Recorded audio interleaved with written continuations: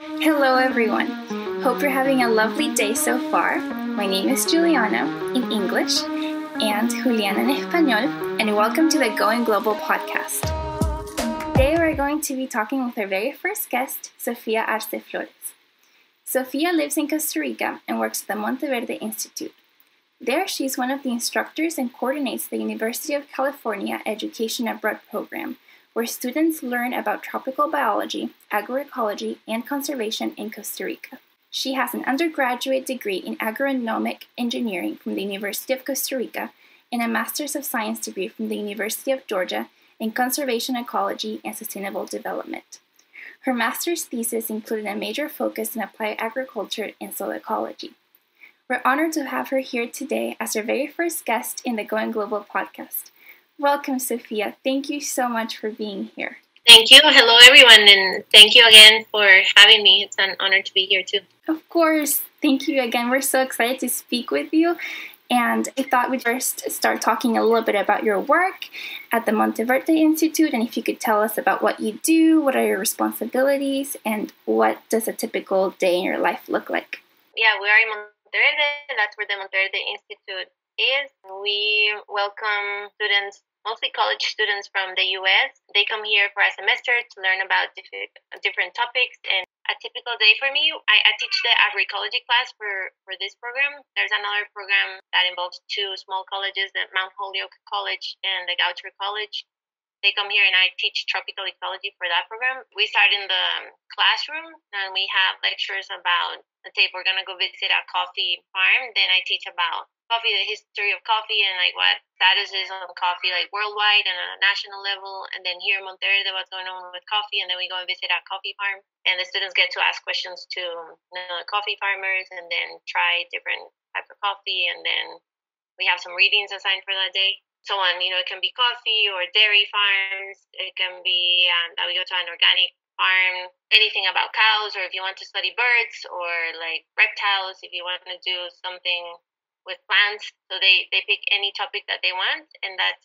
a very interesting part of the project too, because then I'm the main advisor for so a typical day for me then would be, you know, if a student is doing bird research, so then I go out to the field with with her or with him. Then I do work in the lab too. Like if they're studying roots, this plant, and I don't know the roots and fungus association. So then it's very interesting in that way that I get to do many different things in one day. So there's there's not like a typical day, but like oh yeah, one day I might be doing all these uh, field related stuff and one day working in the lab and one day teaching but it's all very very nice i enjoy it a lot oh i love how hands-on it is that you can get to be out there in the field with your students and doing your work that is mm-hmm. incredible mm-hmm.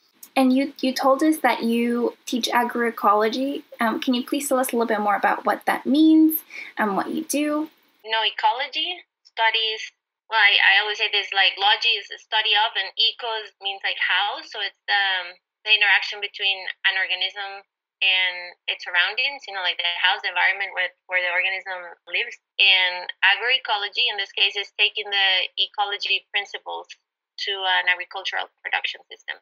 Agroecology, for example, instead of doing like a monoculture, agroecology promotes that you have different plants of different species in one, you know, in one area, that you're not just um, growing pineapple, but that you're growing pineapples and bananas and beans and corns and and it's more small scale farming than what you see you know in, in big plantations here and in other parts of the world. So in agroecology you try to mimic um, for the most part what a natural environment would be and not just like thousands of hectares of this one plant or you know for agroecology too you um, try to do organic fertilizers instead of synthetic, or you try to do biological control instead of adding uh, pesticides. You know, you try to treat the soil with respect.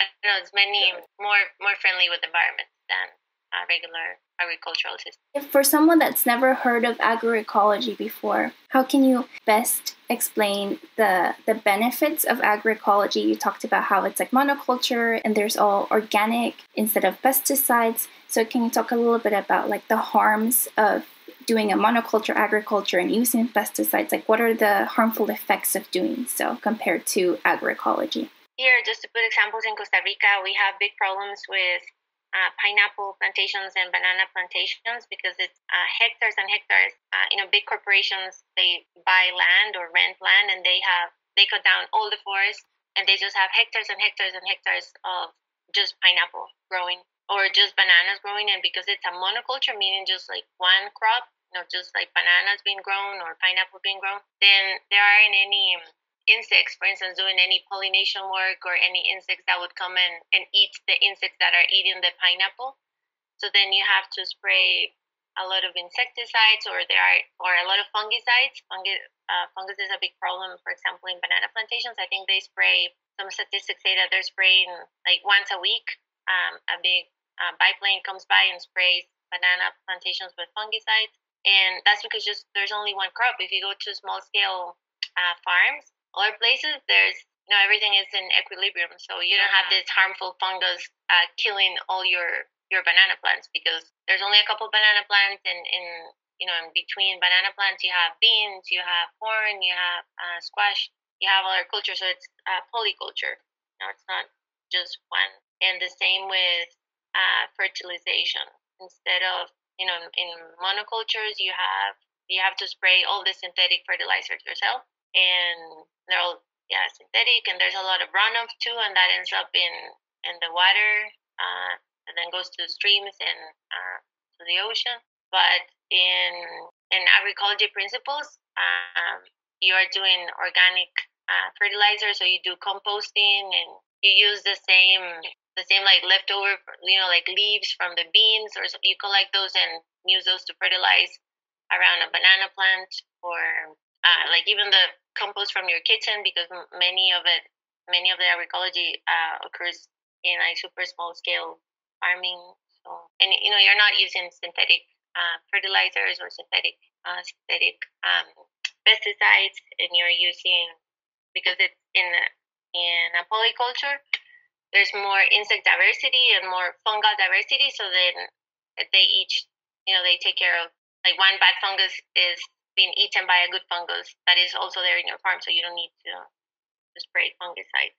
Like I said before, agroecology, in agroecology, you are trying to mimic eh, what would happen in the natural environment. And the same with irrigation. In in pineapple or banana plantations, there, there's irrigation that happens. So you're using a lot of water to keep to keep your pineapples irrigated in in agroecology because because you're using native species or species that that can occur in the area, you don't need to to irrigate. So there's a lot less water that's being wasted. Thank you so much for explaining that so well to us. And it sounds like it's really good for the environment, but also for us as humans, you know, not, not to have that many pesticides in our bodies.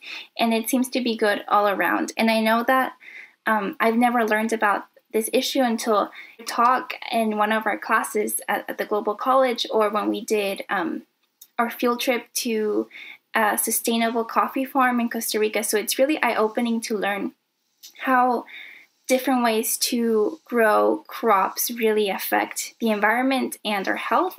So I just wanted to ask you what do you feel would be like a good way for students and people to be able to responsibly source their produce and where they get their food. So, what do you feel we need to do to ensure that we're getting our vegetables and our food from farms that, that use agroecological practices?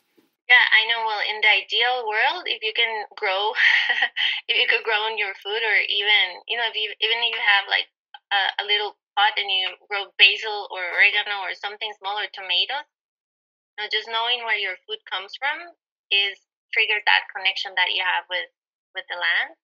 But I know, you know, I know it's not easy to. Oh yeah, I'm just gonna grow my own food. Like we, you know, obviously we don't even grow our own food um, ourselves. But if you cannot grow your own food, then just know where your food comes from.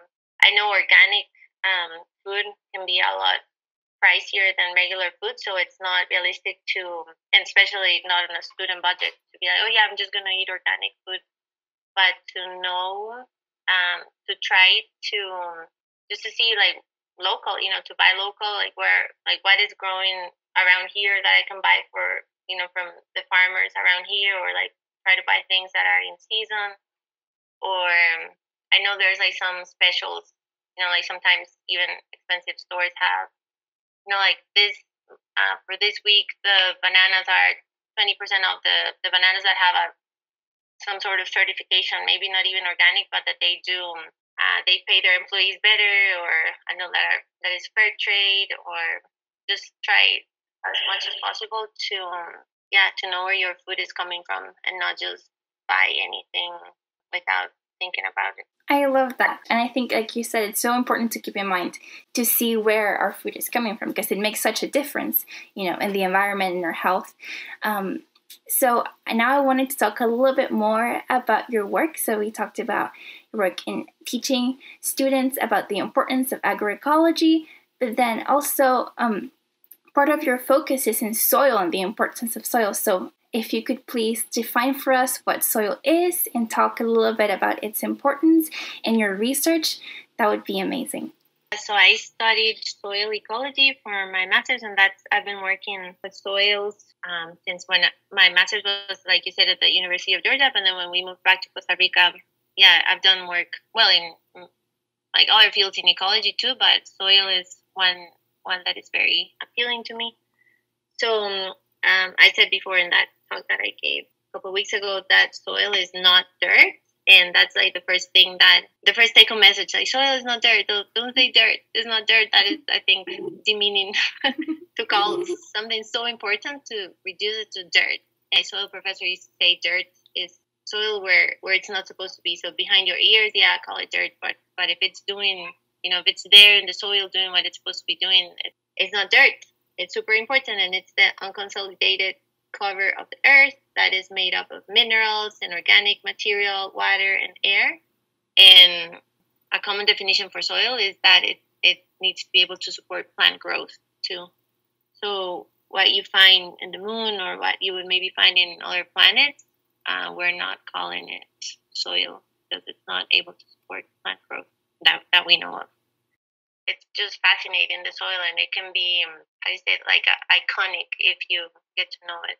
Yes i was so impressed because i've never really sat down and thought about the importance of soil and of the land in our daily lives but really everything we do revolves around soil. It's where where food comes from where we stand so it, it really is a big defining aspect of, of our daily lives so uh, speaking about that i just wanted to ask you like what was what made you interested in studying soil ecology? Like, what first made you want to go into that field, and how did it all begin for you? Agricultural uh, systems have always been interesting to me, and because I'm I'm very into applied sciences, and I respect a lot when you know when, when some scientists want to study uh, the photosynthetic process of blah blah, or like this insect I discovered that you know the second leg is a little larger than the first leg or things like that. I, I really think that's amazing you know on, on its own.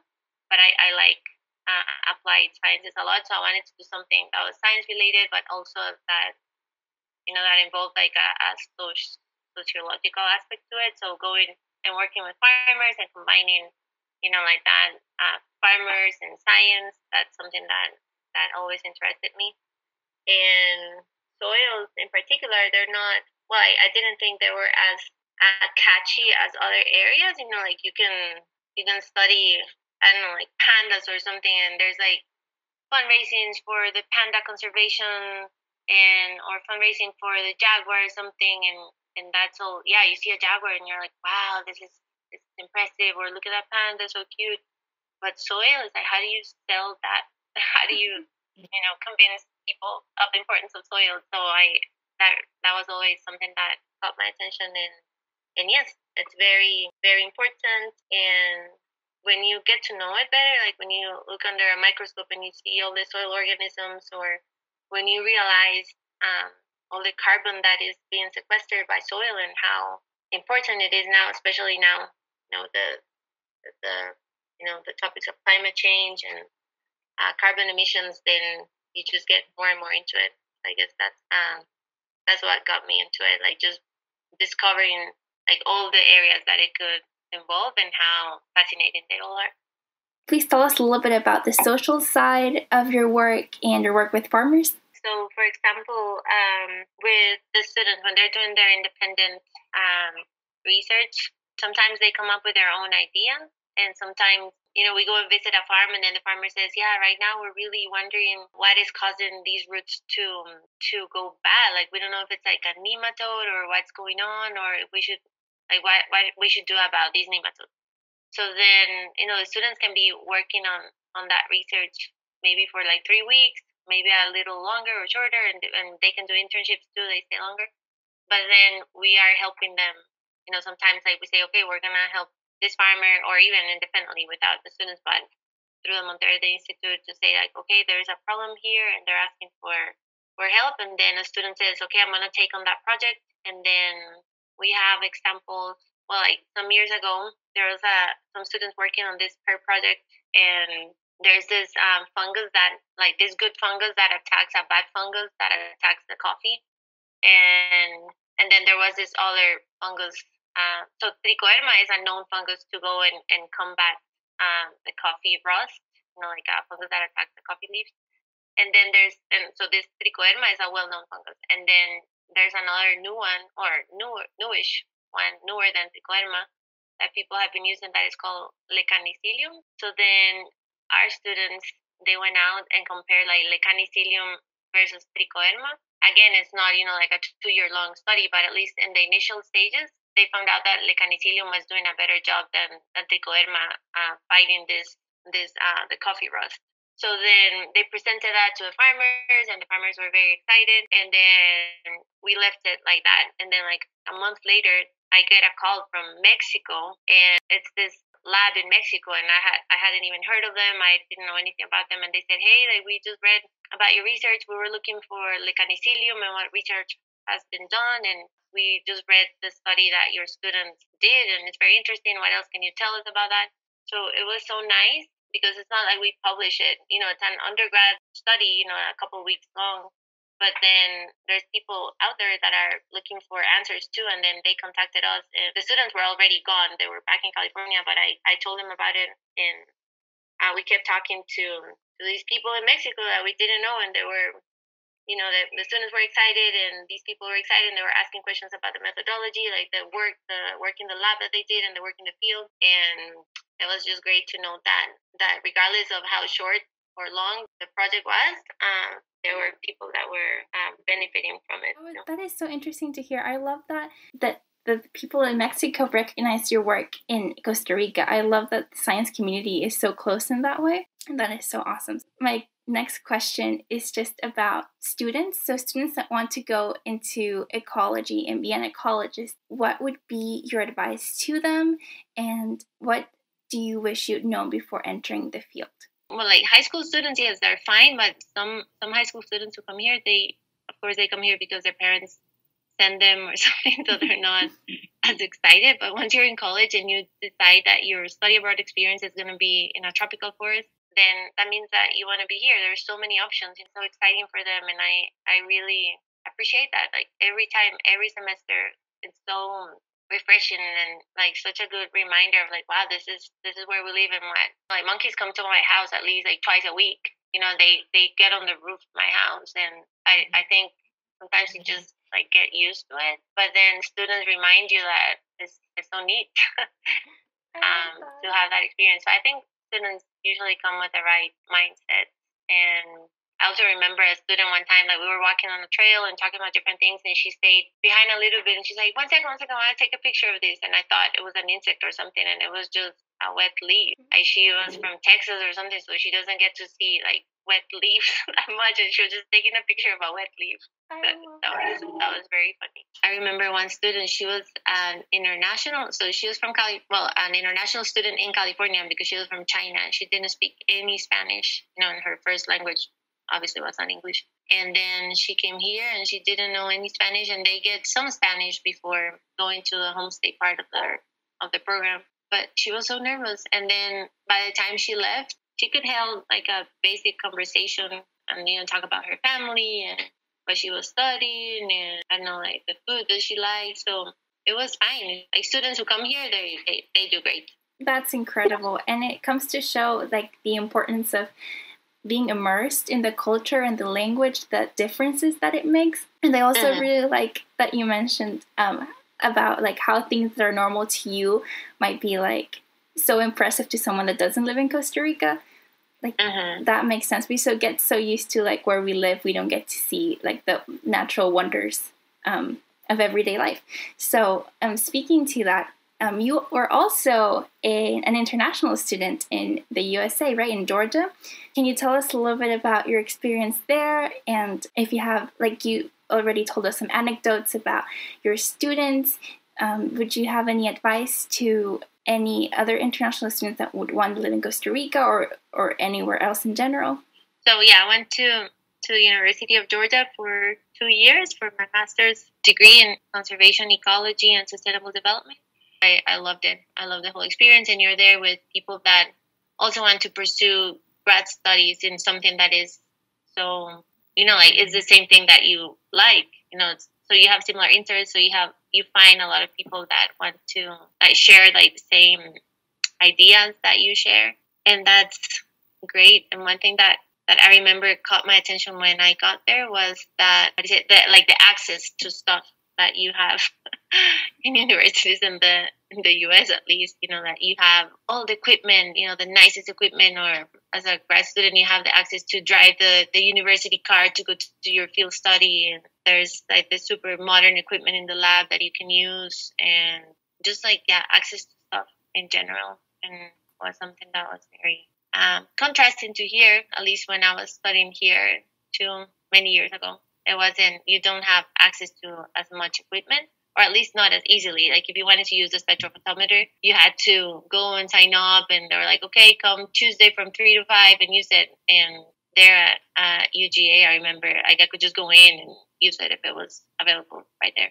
But also, that's that's something funny when students come here too and they want to um, let's say they want to measure the percent of light that is coming in through the canopy um, you know the percent of sunlight that is coming in the forest and if we don't have the super special equipment to measure that then we've done things we've had to get creative and we do like a roll of toilet paper and we you know we aim it to the sky and then they calculate like okay i think it's like 20% here and then they go different places and 15% here, and 50% and 20%. And because it's just like one person doing the measurement, you know, it's not super accurate, but it's them doing it themselves. So then they can do statistical analysis with that thing that they, they came up with themselves or like to measure the percent of salt in a mangrove tree. You know, you, you can have this uh, little equipment that tells you, yeah, the percent of salt in this leaf, or you can, you can like irrigate a leaf and all the water, all the excess water, you put it in a bucket, and then when you evaporate the water, then you can measure the amount of salt. So it, it makes you um,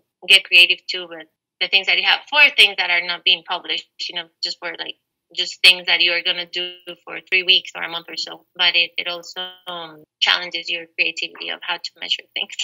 of course.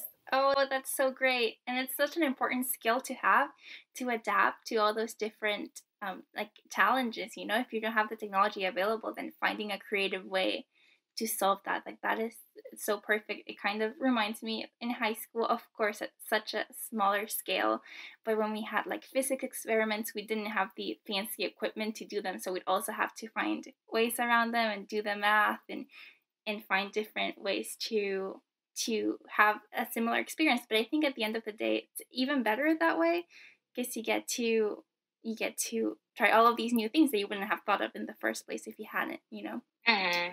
So that is so wonderful. Is there like one like one piece of advice you want someone to know that's going to be an international student, say next semester?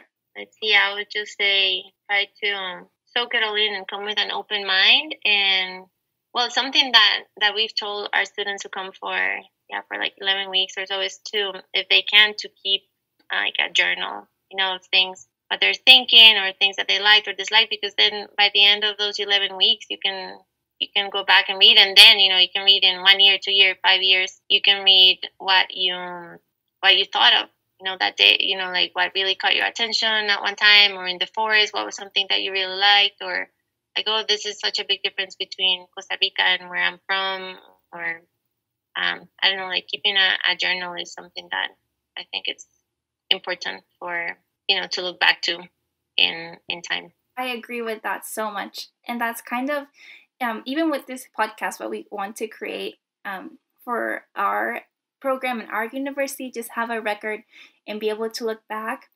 Because I do feel like, especially like studying abroad, you get all of these experiences that you're soaking up in the moment. But it's like you said, it's really nice to be able to look in the future back and see what you did, what you were thinking. I think it's such a such an important gift to yourself. So I love that advice. Thank you so much.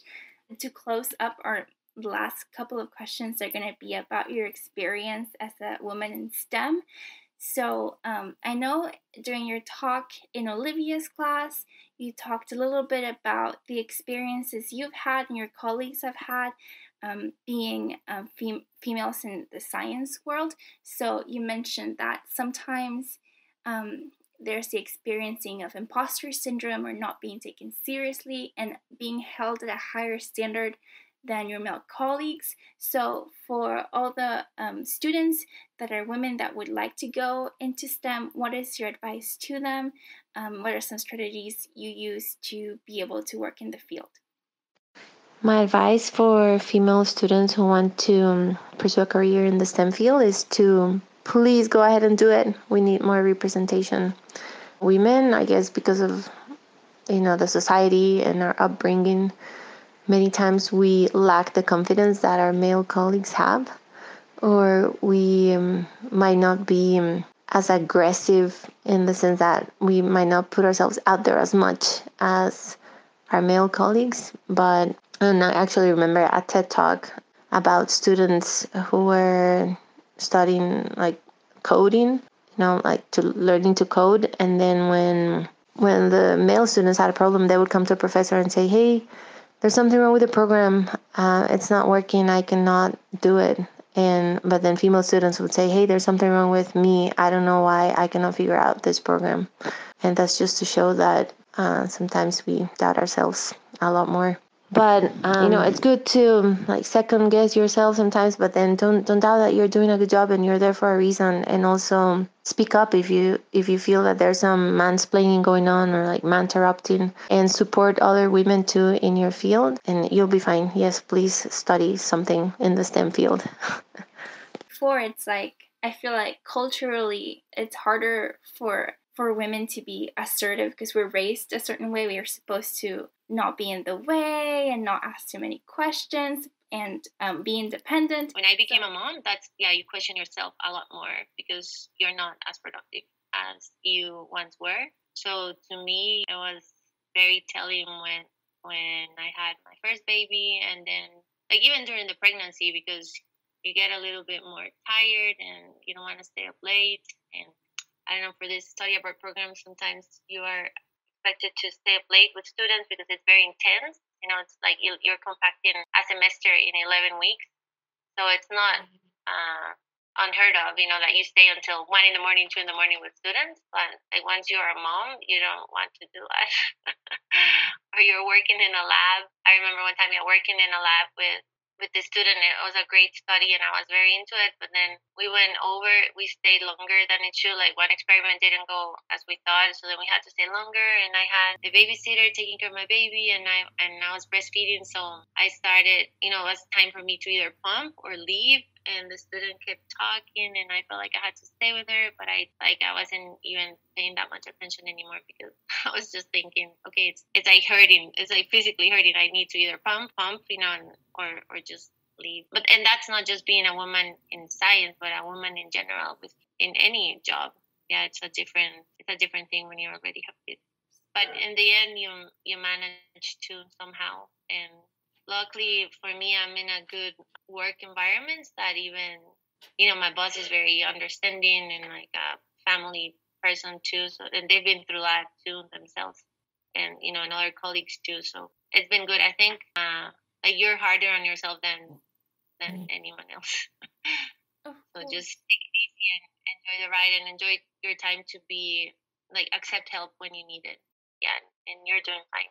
I think that's really good advice to accept help when you need it because were you mentioning before it's like I feel like culturally it's it's harder for for women to be assertive because we're raised a certain way. We are supposed to like not be in the way and not ask too many questions and um, be independent. So I really like um, asking help when needed. It's so crucial just in general. And of course later on if you if you go into motherhood of course you're going to need more more help than you used to before and that's completely fine because that's how it goes you know? Kids are raised in community and your work is in community so it makes sense. I love seeing uh, during your talk um, the sweet pictures of you with your kids um, working outside in the field like that's so cool that you get to take them with you sometimes. If you could um, tell us a little bit about how that works when you go out in the field with your kids. Uh, yes, it's great that I have the opportunity to take them, especially when I'm, uh, you know, nursing. I, I, didn't want to leave my my babies when I was nursing and go on a field trip, you know, for two weeks. So it's good that I have that opportunity. That my my boss said, like, okay, yeah, it's okay. We can go with the students and we can go on this uh, biological station that is very like rustic. You know, you don't have a lot of facilities and you have to like sleep on the floor with a mattress but like even at that i'm i just thought okay my th- this is when i just had one one kid and i was like okay like even this is better than me being away from my daughter for two weeks and and it was great too because i have a supportive husband who who took off of his work so that he can come with me and stay with the baby when i was uh, also like at hikes or giving talks or like on a night hike or doing group projects uh, in the field. So um, it's good to have that flexibility. And yeah, and it's good for students too. A lot of the, the study abroad uh, students who come here, they are female. You know, we have sometimes out of 35 students, we have, I don't know, like 24 females and the rest are male. So it's the majority are female. So it's good for them to see that you can be a woman in science or like you can be a woman and still uh, go out and do field work, which is something I think that I didn't have as much when I was in, in college. Yeah, many of my professors were male. And then when I started seeing more female professors or like in other courses, when, when I would see a female lecturer and I especially liked it and I didn't know why. And then I realized, oh, it's because I can relate. You know, it's a woman there doing something professional in a field that I'm interested in and yeah, like she, like I, I can understand more um, where she came from than uh, you know, a male professor. But so it's good. It's good that I'm able to take my kids to the field, but also, of course, it has a challenge. Its challenges. You know, it's one thing to show like to look back and look at the picture of like, oh yeah, the girls, yeah, like one of them, I was nursing her, and the other one was like wrapped around my leg, oh so cute. But then at the moment, it can be distracting too. you know, she wanted to go get ice cream, but there wasn't even a store, you know, for miles around. And I don't know. So sometimes, yeah, the picture looks great, or like, oh yeah, look, I'm doing my computer work and my my baby's uh, asleep attached to my breast. Oh, that is so cute. But then it's not comfortable. Sometimes, you know, you just your back hurts and you're just writing with one hand and with the other one you're holding her head, or I don't know, they they pee on you. so it's not it's not all like as romantic as it seems sometimes. But and, and it's good to have that perspective to know that it's not like motherhood in general. It's not like oh, oh the ideal ideal scenario, but it has a lot of challenges. But in the end, you know, the good things are better than the bad things.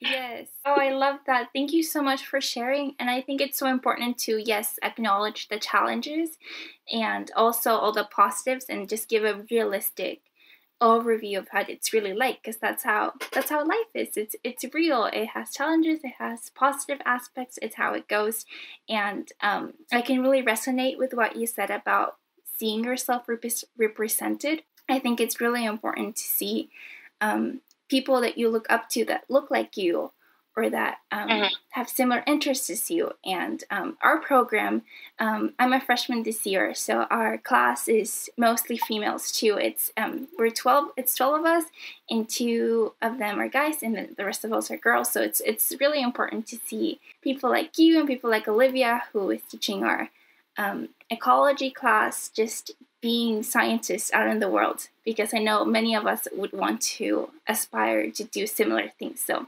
I agree. It's so important, and I'm so glad you mentioned it. Anything else that you'd like to say that you feel like we've missed? I just think that the part about me being a study, abroad, you know, an international student in UJ, yeah, I talked about how in the States there was a lot more access to stuff, to equipment and stuff, but like a similarity, a, a nice similarity that I that I saw was also that the quality of education was very similar. You know, like sometimes we think in Latin American countries, I don't know why we have this thought like, oh yeah, the states, like look at the education, or like in European countries, and and one that was one thing that I saw too when I went to the states, like, oh no, it's great, yeah, like you might have you know 20 computers in the computer lab, and we only had five, but we still had them, and the professors were just as good. You know, like I, I really like and here in Costa Rica, the public university, you know, like or the public universities are really good and they they have really good reputations. So um, that's one thing that I tell Costa Rican college students too. I don't think that just because the professors come from the U.S. or or like from Europe that they know a lot more than your professors here in Costa Rica. Yeah, education is good good quality here. Yeah, I, we were learning in our classes about the quality of education in Costa Rica, and it's, it's so impressive to hear, you know, all of the of the talented professionals that come out of the universities and they're public. Like that is so important. It's something here the state struggles with because even though we have public universities, they're really expensive. So it's it's so encouraging to hear that there are countries like Costa Rica where you can go get your education for free and still be really high quality. So that's I'm so glad you brought that point up. Mm-hmm. So now our last question is one that we plan to ask to um, all of our guests in the podcast. Since our college is the Global College at LIU, the goal of the program is to try to learn about the world's issues and how to make the world a better place. So we thought a good question to ask you is what do you think are some actions that we can take today to make the world a better place to live in? Well, there are, there are so many things that you can fight for, and I yeah, like so many nice things that you can focus your energy in and yeah this is something that i've told my students in the past that there's you know like many many people who care about the environment and they say okay i'm going to yeah like try to know where my food comes from or like try to eat less meat or to use the car less or to use less water. If you care about animals to go to a spay neuter clinic and volunteer. I don't know i just think there's so many good things that that you can do that you have to see you have to pick one. There's like you know more than a hundred things that in my community that I could be involved with, but I cannot do a hundred, and much less on a volunteer basis because I also need to, you know, to make money and you know go on my everyday life and eat.